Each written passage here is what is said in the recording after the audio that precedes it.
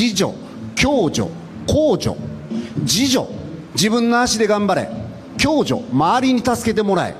公助政治の出番。どうして政治の出番がいつまでもないんだ？あまりにもおかしな政治が数十年続けば国は疲弊し人々は地盤沈下する。当たり前の話なんですね。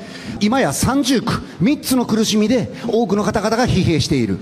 30年にわたる不況。そこにやってきたコロナ。そしてそこに加えて物価高。ここに対して緊急事態であるっていう意識が政治の中にないんですね。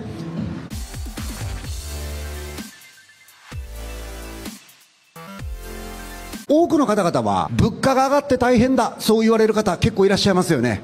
いやこれぐらいの物価上昇だったら無傷問題ないそういう方はどれぐらいいらっしゃいます？お金持ちいらっしゃいますね。ありがとうございます。でも一人だけでした。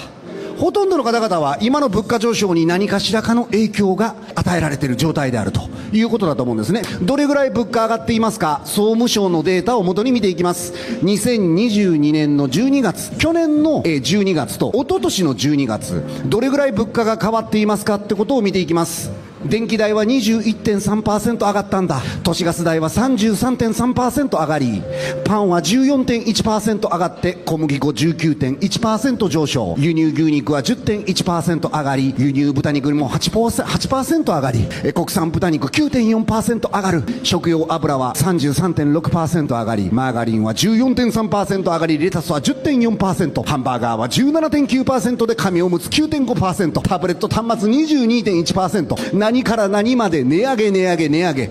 これ原因なんですか？原因は輸入輸入インフレなんですね。海外から入ってくるものが高くなっちゃうっていうのがこの状況なんです。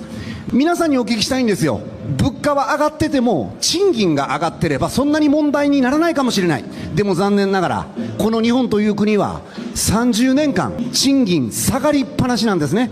左側が1997年右側は2020年。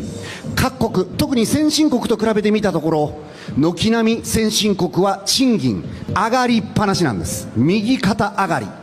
一方で日本はどうでしょうか？この数十年の間日本は右肩下がりなんですね。賃金上がってないんですよ。いやいや俺は賃金上がってるって方どれぐらいいらっしゃいます？いらっしゃっていいんですよ。当然上がってる人もいるだろうから。でも一握りなんですよ。一握り。だって今テレビで春闘がどうしたとか言ってるでしょ？でもあれ大企業中心じゃないですか。中小企業なかなか賃金なんて上げられません。だって30年間賃金が下がってるってことは国自体が30年成長できてないんです。これ先進国で唯一日本のみ成長してない衰退をし続けてる。国が衰退続ければ賃金も下がり続ける。当たり前の話ですね。どれぐらい皆さんの所得が30年で減っているか厚生労働省国民生活基礎調査から所得の中央値。所得の中央値って皆さんご存知の通り高い所得から低い所得まで全部並べた真ん中の値。その真ん中の値が25年間不景気が続くこの国で131万円所得の真ん中が下がってる状態なんです。つまりは何か？一握り以外は全員が貧乏になっている国が日本なんです。先ほど言った通り先進国で唯一でございます。どうしてこんなに賃金が下がっていくのかもちろん景気が悪いからでございます。他にも理由はあります。非正規雇用の割合と実質賃金の推移。これを見てみると何が起こっているか。青い線が1990年から2020年の間右に上がっています。青い線が上昇している。これ何か？非正規労働者が増えていっていますよという様子。もう一つ黄色は何か？実質賃金が下がっていってるよっていう様子。つまりは何か？働き方が壊されてしまうと。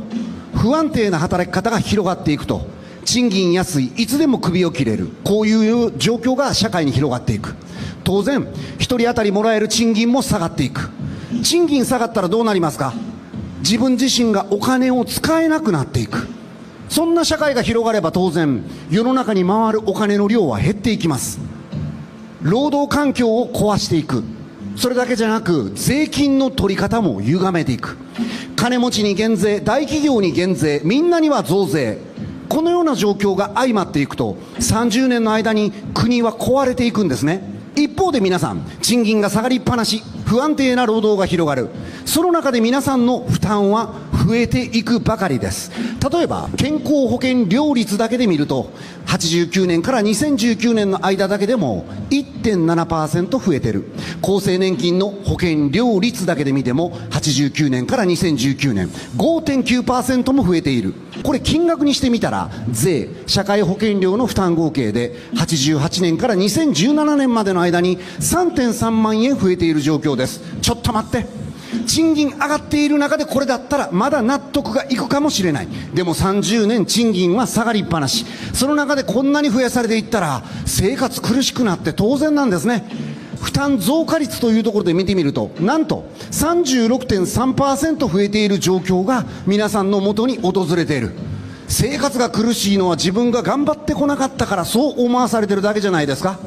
構造上の問題政治によって誤った運営が行われたらあなたの首は締まる一方です。続いて教育。これは国民の権利でございますが授業料特に高等教育大学大学院などを見てみると軒並み授業料は増えていっています。左側昭和50年。右側が平成の終わり。私立も公立も全て授業料は上がっていってる。国立の授業料で見てみると1975年。山本太郎1歳の時には授業料は3.6万円だった。一方で1989年には33万9600円に値上げ。